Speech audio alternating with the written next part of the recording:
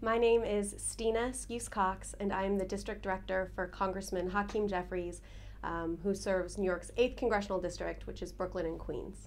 So, my first day on the job with the Congressman was his first day on the job, January 3rd of this year. So, he's new, um, and I'm new uh, to the office as well. It's a brand new shop. So one thing that I don't think many people are familiar with, uh, and I in fact wasn't myself, even though I'd worked in a congressional office, are the challenges of being a freshman member. When you're sworn in, you start with nothing and you have to build it on your own. It's just like being in a startup. So day one, there were no computers, no furniture, no office leases, no Blackberries. Um, yet we had this district that had been hit heavily by Superstorm Sandy. So while we had none of the infrastructure of an office, we still had constituents that we needed to serve. And it was literally me on the ground in my suit, plugging in wires and calling up phone companies because our office, in fact, our office in Coney Island was hit by the storm. So not only did we not have internet service, we didn't even have the wiring to get the internet. And in the meanwhile, I'm ordering computers, and, and again, the staff had meetings and constituents coming in with requests, and we just had to make it work. So, in fact, I think my my my best day, my most challenging day on the job, was two weeks after he was sworn in. We decided to do our first town hall in Coney Island, and I didn't even have a computer at this point. And we made flyers. We put the word out. We called FEMA, the Red Cross, people at the state, and we it was at um, the Gospel Assembly Church in Coney Island, led by the indefatigable Sister Connie. And it was a cold, cold night, of course, in January. We had no idea who was going to show up. Our RSVPs were 17. And that night, over 300 people showed up at the church seeking services post Sandy. So that was one of those moments when I realized okay, I've had a tough time setting up an office after the storm, but these families, months after the storm, still don't have heaters or refrigerators or even a home that they can go back into.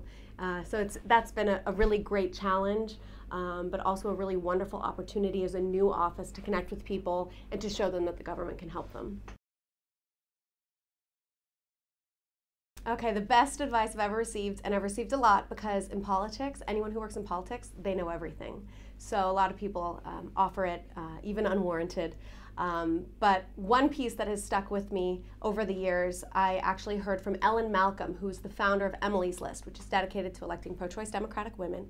I was an intern there when I was in graduate school, and I asked her what she attributed to her success as a leader. And she told me that the most important thing a leader can have is a staff who will tell you to your face that you're wrong. And that's something that I try to do when I with the elected officials that I work with, even if it's uncomfortable, to say, "Hey, I'm going to tell you my opinion. Uh, I think you're off on this, or the tone of the debate is different. Um, here's my perspective." And of course, your boss can do whatever they want with the information. But even now, as a manager, I love it when people challenge my opinion on something. Prove to me that I'm wrong. Uh, let me see the other side of things. Because if you're constantly surrounded by people who are always telling you what you want to hear, uh, you're not going to be successful. So I'm a total nerd. My uh, my two of my heroes, and I have to say, New York State has a great history of political heroes. Uh, but my two favorites are Elizabeth Cady Stanton and Susan B. Anthony, the, the um, fighters for women's suffrage. And I actually went this June to Seneca Falls. It was kind of like going to Mecca for me uh, and got to see where the first women's convention was and uh, the natural uh, the national parks museum that's associated with it, the National Women's Hall of Fame. Uh, and I actually got so excited with all of the history. For the first time in my life, I got a nosebleed. And it was just too much nerding out. It was too much excitement for me. Uh, my body couldn't handle it. Hmm, ideal weekend. Well, I live in New York City, so of course it involves walking around, seeing, uh, seeing everything, seeing the beautiful views, um, walking along the waterfront. I love Brooklyn Bridge Park and the promenade.